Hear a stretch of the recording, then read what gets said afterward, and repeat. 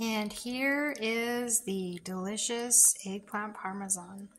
Start with fresh eggplant from your garden or your local store. I prefer uh, organic whenever I can get it. Peel and slice.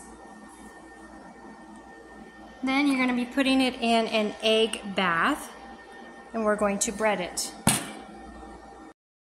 kitchen mama. Okay, this is where I put my daughter to work. So I'm soaking these in egg bath, which is just eggs. You can put milk in there if you like, but I don't need to.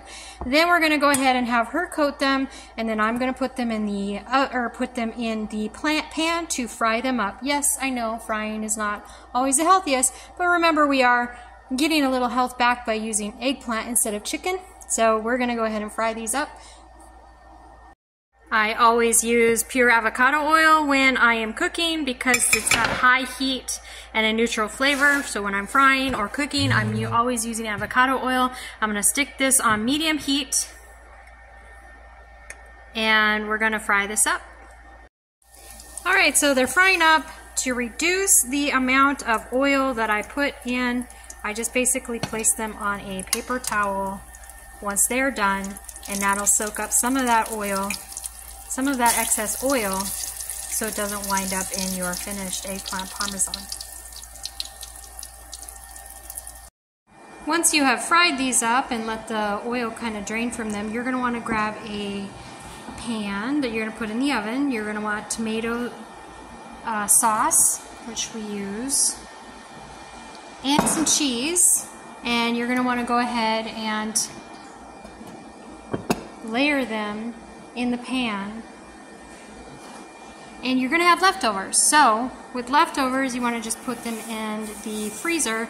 They'll freeze up nice and you can cook another dish once the leftovers are, when you're ready to use them. Start with a layer of tomato sauce on the bottom and then just start placing in your eggplant.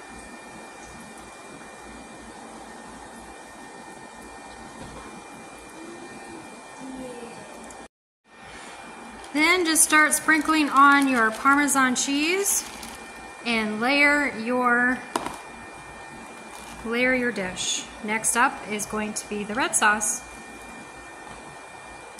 And then another layer of cheese and then the red sauce until you fill up to the top of your pan. Make sure that the last layer is cheese and then you're going to put it in your oven at 390 till everything melts together.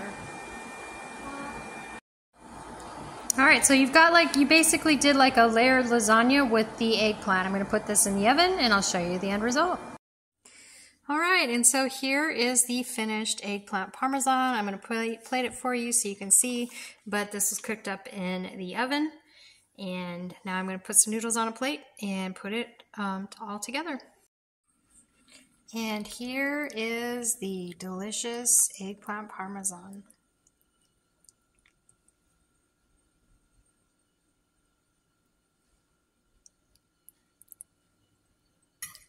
Bon appetit!